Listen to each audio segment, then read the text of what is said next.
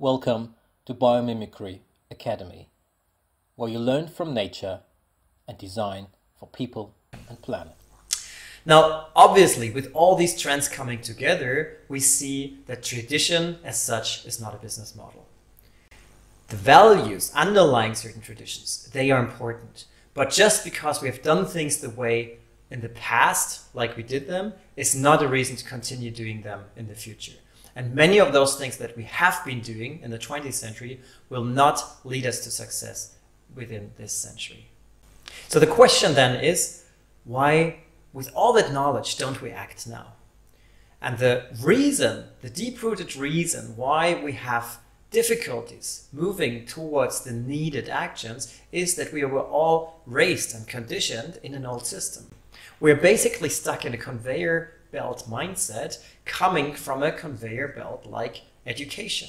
So when you look at education, even at large today, we're teaching young kids, the future generations who should be basically responsible innovators, in a manner how we raised and educated kids 150 and 200 years ago. So how do we overcome these burdens? How do we move to the 21st century mindset and create tools and use tools that lead us into a prosperous future. And this is something that we call hybrid thinking. Hybrid thinking is the hybridization of different approaches that tackle exactly these challenges and start with the individual and with the direction we want to go. So it's value based and create systems and business ecosystems that are viable and that are responsible and value creating. So hybrid thinking consists of four aspects. The first is what we call the transformative purpose. It's a direction, it's a strategy. These are the values. This is the why of your organization or the why of your intentions. Why do you want to go that way? Where do you want to go? What are the values you hold? And what is the strategy to achieve these values? The second aspect of hybrid thinking is mindset innovation. How do we transform individuals from this 20th century mindset to the 21st century mindset? How do we acknowledge and use and leverage all this creative and cognitive potential within human beings and bring it to the best of humankind, but also to the best of our planetary system? The third aspect of hybrid thinking is agile collaboration. Even if we leverage and harvest the potential of an individual, how do we make people to work together to harvest this crowd intelligence, this group intelligence that creates so much creativity and so much emergent power to create new systems. And finally, the fourth aspect of hybrid thinking is future business. How do we create business ecosystems that work, that create value, and that leverage abundance and are not based on scarcity and competition? So, hybrid thinking serves as a guiding framework for responsible innovation. Now, how do we make this actionable? And this is what we call the elements of responsible innovation. The first aspect of it is the human aspect, the human centered design. So, what is the relevancy of why we're solving a problem? What is the need behind? What problem do we solve that is worth solving? And here we'll use various methods, including design thinking, looking at people's and humans' needs, abstracting what are their desires and their pain points and their needs, and bring them into the solution space. The second aspect, looking at those solutions, is where do we source these solutions and the ideas for potential solutions from? And this is where nature and biology comes into place. This is how we create sustainable systems using biomimicry and nature inspired innovation. Because nature and biological systems, throughout the course of millions and billions of years, has developed strategies that solve problems radically differently at times than we do it currently. The third aspect and the third element of responsible innovation is then systems thinking and circular economy. So, how do we create entire systems that are interacting with each other and functioning as a whole and not just as an isolated part? And here we apply systems and closed loop thinking. So, an important thing is not only an individual solution, but thinking in a larger context. And this leads us to the fourth element of responsible innovation, which is business modeling.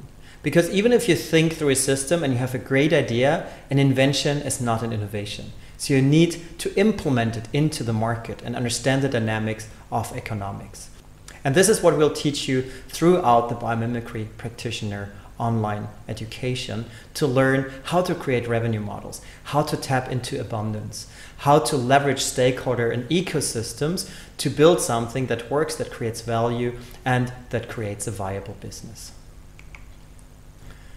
So towards the first part, the user-centered and human-centered approach, we have to learn how can we work in collaboration and co-create with people who will eventually take advantage or be immersed with the solutions we create. So here we use a variety of tools to not only tap the individual and not only go into what we call in the 20th century mindset, the IQ, where we measured the intelligence quotient and separated people by numbers even and put standardized protocols on people to compare them, but rather harvest the human potential by connecting people, by creating collaborative relationships and creating something that Peter Spiegel nicely calls the WeQ, the collective intelligence, the group intelligence, which is way more powerful and that requires exchange, that requires emotional intelligence, that requires empathy and learning about people's needs and using them as a leverage point to create something valuable. So here we will use design thinking and other user-centered design methods to leverage exactly these needs. Because real innovation doesn't start with technology only. It doesn't start with a business case. It always starts with a desire or with a pain point that is then made possible through novel technologies. And this solution then is, of course, being made viable in a business model. This element of responsible innovation is really about an entire new mindset, an entire new culture. It's highly collaborative. It is human centered by definition. It's about rapid prototyping, basing your solutions on assumptions and testing them. And this then implies quick iterations to improve and eventually build something that creates value. The second element of responsible innovation is to learn from nature, is bio-inspired innovation. Why should we learn from nature? Why is it so different and so powerful? Well, nature has been around for 3.8 billion years. This is a very long time, and throughout this time, and by the way, we are part of that evolution, we are a product of this evolutionary process, nature has developed a plethora of different strategies and solutions that very often outsmart things that we can do technologically. And because 3.8 billion years is just such an astronomical number and we can hardly wrap our heads around, what I've done here is I've compressed the age of our planet, which is even older, it's 4.5 billion years, into one calendar year. And what we consider the pinnacle of evolution, the industrial revolution, from the steam engine to the artificial intelligence right now, this entire stretch is less than two seconds on that scale. And this is where we currently source all our innovation and ideas from. So the question is, and that is something that we want to leverage throughout these programs, is how can we leverage all that potential that lies before and beyond these two seconds and really learn from the design mechanisms and strategies that nature has developed and successfully developed because they're success proven throughout these billions of years of evolution. And exactly that is what we need in the 21st century. Going back to the graph that we've shown you earlier, we cannot use the same approaches that we have used and successfully used throughout the last decades and centuries. We have entered a decade and we've entered a millennium where we need entire novel approaches. And this 21st century has to deal with complexity, with uncertainty, and with unpredictable futures. And this is where evolution testing, trial and error, an entire new approach has come into play. And this is where biomimicry fits in and creates outcomes that are value-based, that are sustainable, and that are regenerative.